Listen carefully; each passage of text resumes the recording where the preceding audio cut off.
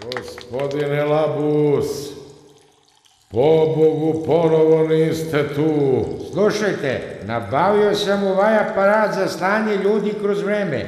Ću da vas pošaljem u lepu m***, pa što vidite. Vi me samo nervirajte. Aha, tu ste, gospodine Labus.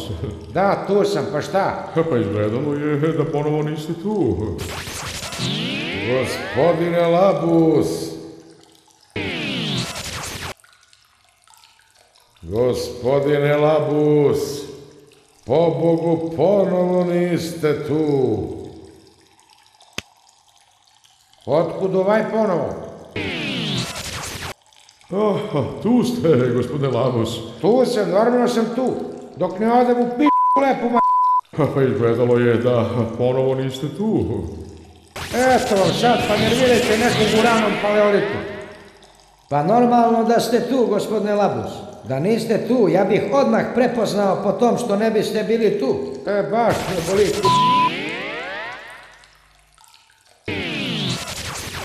Gospodine Labus, o pobogu ponovo niste tu.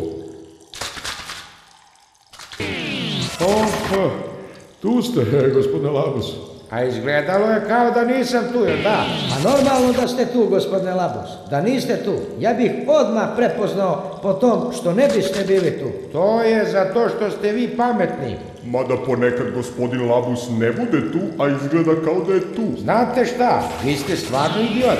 Je, je materije ne mogu da ih dobacim dalje od... Kako ljudi uopšte da znaju da li ste vi tu, gospodine Labus, kada se stalno pretvarate da niste tu?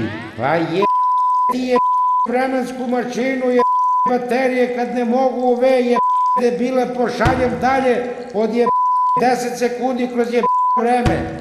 Ima da uvatim onog je prodavca pa ću mu nabijem u du vremensku mašinu je pa će da putuje kroz vreme ko žil bre. Gospodine Labus, pobogu, ponovo niste tu. A je vam izgleda ponekad da ste sve ovo već proživjeli? Nikad.